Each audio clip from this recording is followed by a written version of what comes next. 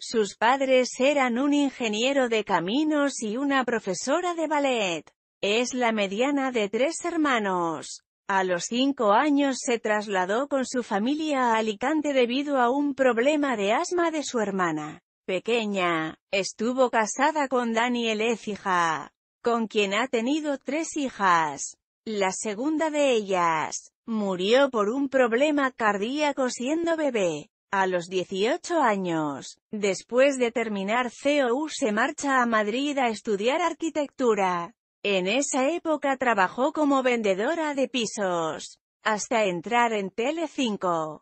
Debutó como azafata de José Luis Moreno en el programa VIP Noche, ascendiendo con los meses al puesto de copresentadora, ya en la época en que el presentador era Emilio Aragón. Después trabajó para varios programas de la cadena, repitiendo con Emilio Aragón en varias ocasiones. Tras unos años, daría el salto a Antena 3 para trabajar como presentadora en los programas La Ruleta de la Fortuna, Tato Cao y Sin ir más lejos. Después volvería a Telecinco, esta vez para debutar como actriz televisiva. Su primer trabajo fue con su viejo conocido Emilio Aragón, dentro de Médico de Familia, donde daría vida a la fotógrafa Clara personaje que solo apareció unas semanas, ya que sería trasladado al poco tiempo a la serie Periodistas,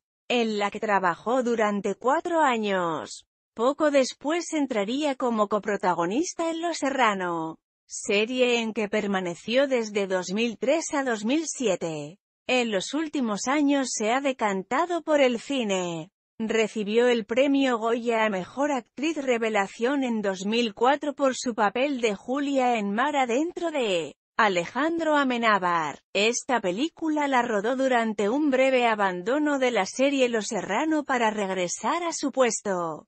Al finalizar el rodaje, en enero de 2007 debutó en el teatro, con la obra Closer, que ya había sido interpretada en el cine por Julia Roberts. Al iniciar este trabajo, decidió abandonar definitivamente Los Serrano. En octubre de 2007 se estrenó otra película muy relevante para su carrera, El Orfanato, dirigida por Juan Antonio Bayona y coprotagonizada por Fernando Cayo, Geraldine Chaplin y Roger Princep. El orfanato fue elegida por la Academia Española para representar a España en los Oscar 2008, pero finalmente no fue seleccionada entre las cinco finalistas. Además, gracias a ella, consiguió su segunda nominación a los premios Goya, la primera como actriz protagonista, repitiendo candidatura por otra cinta de terror. Los ojos de Julia en 2010. También, ha sido protagonista del drama El mal ajeno en 2008.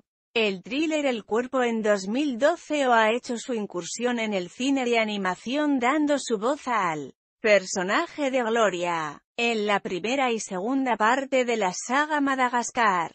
En 2013, estrena Ismael donde debuta como abuela en la ficción interpretando a Nora y el thriller psicológico.